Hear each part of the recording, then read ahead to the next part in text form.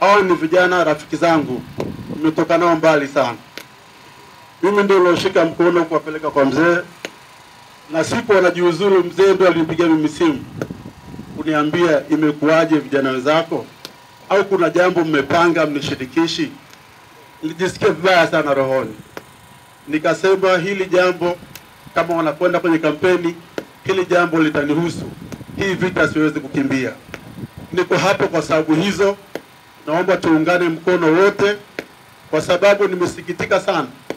Jana nimemsikia huyo kijana mmoja Kalanga anaongea pale Makuyuni maneno hovyo hovyo sana, na nilimwambia majuzi tu kwamba kwa maamuzi yako unaruhusu watu kuja kubeza maendeleo ya Monduli.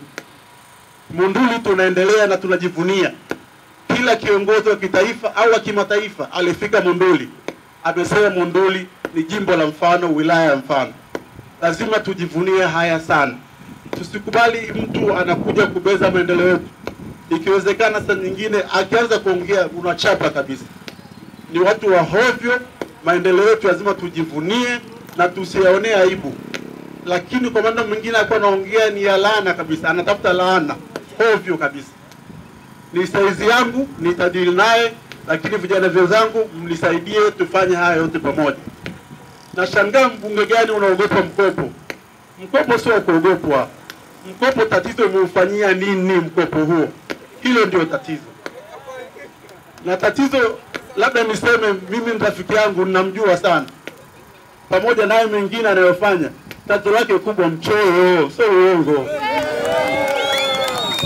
mchoyo sana. Mnajua hata kija kuchoma nyamba duka bovu hapa anajificha kule nyuma, si ndio? Mchoyo mno. Kwa mkopo kama amekula mwenyewe na familia yake na hao wengine ambao sitaki kuyasema, akafie mbali. Kwa hiyo kwa kifupi, jamani, mimi nimekuja kukuomba kura kwa ajili ya Jonas Masiaya, lakini pia la mwisho, kuna mambo ya vitisho kwamba watu tena wanathubutu hao rafiki zetu kwamba bwana, hata mkipiga kura sisi tutatangazwa. Mambo ya hovyo na aibu sana. Sisi tuko hapa katiba, tunaheshimu katiba.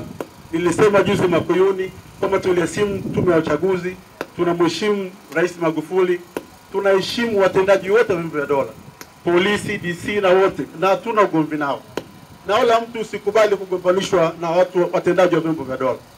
Hawa ni sehemu ya jamii yetu, tunawaheshimu. Kwa hiyo tukapige kura. Monduli inaheshimika kama mvosikia, imetoa mawaziri kuu wastaafu wawili, lakini bado na maendeleo ya heshima. Tukapige kura, kura zitalindwa na sisi tuzilinde kwa nguvu zote. Mmesikia jamani? Hasa wangapi mnampatia kura ndugu yangu Jonas Masiaya? Naomba tunyoshe mkono. Kura zote kwa Jonas Masiaya. Na washukuru sana duka bovu, msituangushe tarehe kumi na sita. Kila mtu arudi nyumbani. Wakina Kokoo sijawaona wengi hapa, tuendeni tukaombe kura vizuri tarehe kumi na sita, tuende pamoja, wasitishiwe na mtu yoyote. Sawa jamani, asanteni sana na washukuruni sana.